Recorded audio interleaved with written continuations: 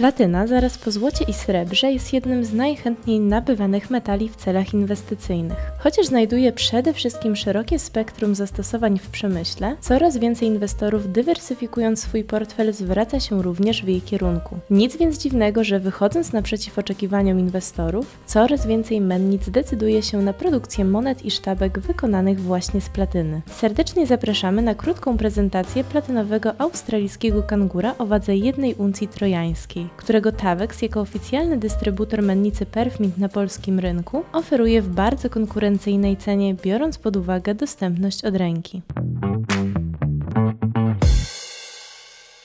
Na tle złota i srebra, platyna, o której pierwsze wzmianki pochodzą z XVI wieku, jawi się jako bardzo młody metal szlachetny. To właśnie wtedy jeden z włoskich humanistów dostrzegł wyjątkowe właściwości platyny, opisując ją jako metal nie dający się stopić ani za pomocą ognia, ani żadnych hiszpańskich sztuczek. Właściwości te zostały również zauważone i docenione przez rynek inwestycyjnych metali szlachetnych, dzięki czemu platynowe monety obecnie cieszą się zainteresowaniem coraz szerszego grona inwestorów. Australijskie kangury z mennicy Perfmint, niezależnie od tego z jakiego metalu zostały wykonane, zaliczane są do ścisłego kanonu najpopularniejszych monet inwestycyjnych. Dzięki szerokiej rozpoznawalności cieszą się wysoką płynnością, wobec czego nabywając je inwestor niejako zapewnia sobie gwarancję późniejszej odsprzedaży w satysfakcjonującej cenie. Jednocześnie australijskie kangury cieszą oko wyjątkowym wykonaniem i precyzją, z której znana jest mennica Perf. A skoro o walorach estetycznych mowa,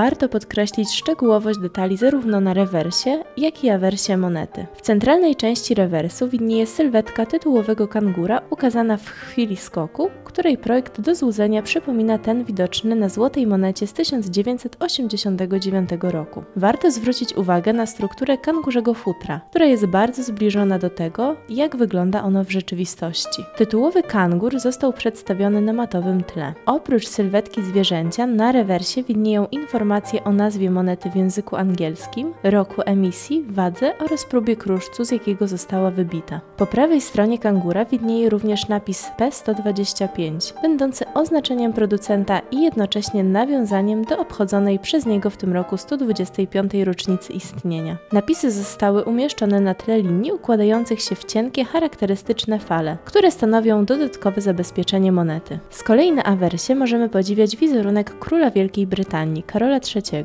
według znanego z innych monet oferowanych przez Perfmint projektu Dana Torna. Inicjały projektanta widnieją po prawej stronie, tuż poniżej wizerunku zwróconego w lewą stronę monarchy. Oprócz tego na awersie znajdziemy informacje o kraju pochodzenia monety oraz wartości nominalnej, która w przypadku prezentowanego waloru opiewa na 100 dolarów australijskich. Obecność wizerunku brytyjskiego monarchy na australijskiej monecie stanowi bezpośrednie nawiązanie do przynależności Australii do brytyjskiej wspólnoty narodów. Moneta platynowy australijski kangur jest dostępna w Tavex od ręki. Serdecznie zachęcamy do sprawdzenia aktualnej oferty na stronie internetowej www.tavex.pl lub do odwiedzenia jednego z naszych oddziałów zlokalizowanych w różnych miastach Polski. To już wszystko w dzisiejszym odcinku. Jeśli film Wam się podobał, koniecznie zostawcie łapkę w górę i subskrybujcie nasz kanał, a w komentarzach dajcie znać, czy Wy również inwestujecie w platynę. A może dopiero przymierzacie się do zakupów? Czekamy na Wasze komentarze i jednocześnie zachęcamy w wolnej chwili do zajrzenia na nasze media społecznościowe. Do usłyszenia w kolejnych odcinkach.